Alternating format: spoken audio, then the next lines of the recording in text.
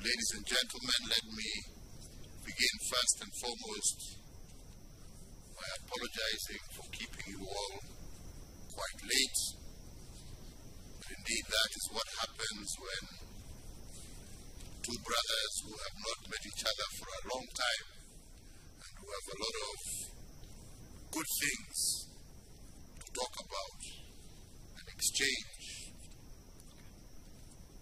it results in time. And I, I, I am very proud and happy today to, to welcome to Nairobi my dear brother and friend, President Hassan Sheikh of the Federal Republic of Somalia, a man who I respect greatly. And I've had the opportunity, first and foremost, to once again congratulate him, congratulate the people of Somalia for having held successfully a peaceful election that saw a peaceful transition and President Hassan Sheikh being given an opportunity to serve once again the people of Somalia in the as president. I also, at the same time, assured my brother and friend that we in Kenya are also in the process of another election in October, in, in August, and assured him that we are also keen and working towards ensuring that we also, just like Somalia, conclude a peaceful election and a peaceful transition going forward.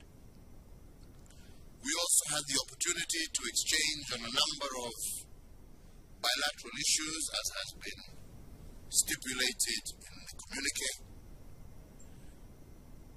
And all of those issues that we discussed revolve around the fact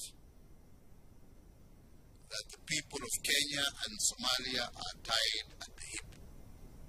We are one people, one region, facing common challenges, and the only solution to those challenges is us working together. Agreed on security cooperation. We have agreed on the need to facilitate our people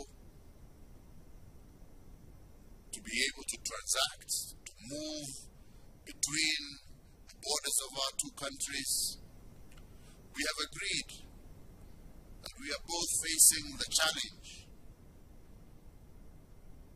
of a fourth consecutive year of drought, and again, the need for us to work together to ensure that we are able to assist those most affected by this drought.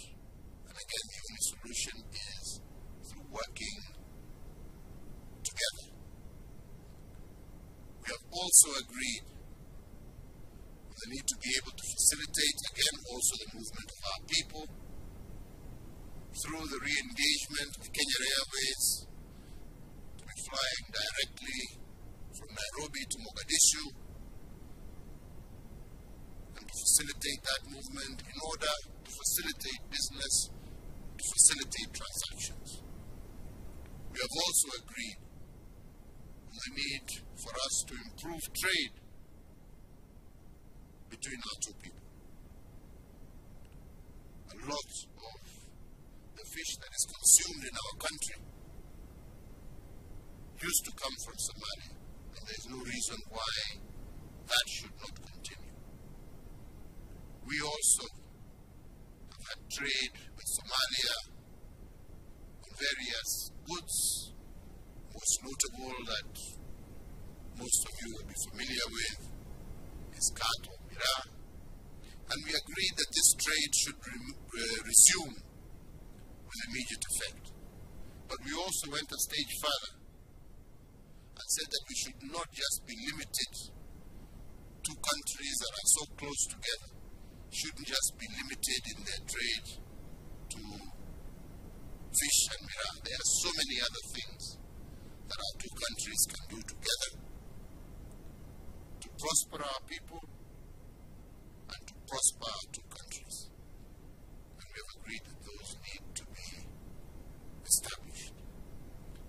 We have said we have no time to lose. We want these things to happen immediately. And therefore, we have given our relative authorities concerned with these issues a period of two weeks within which to finalize on all these issues. Finally, we did agree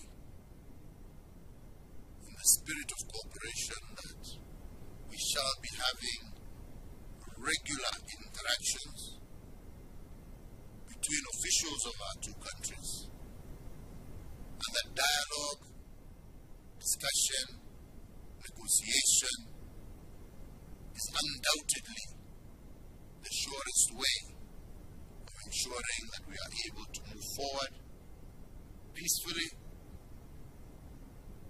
and resolving the issues. Regular contact, regular dialogue between officials at various levels is going to be critical. Opening of borders, ensuring security is maintained, ensuring our people facing drought are assisted appropriately. All of these issues will require regular dialogue and interaction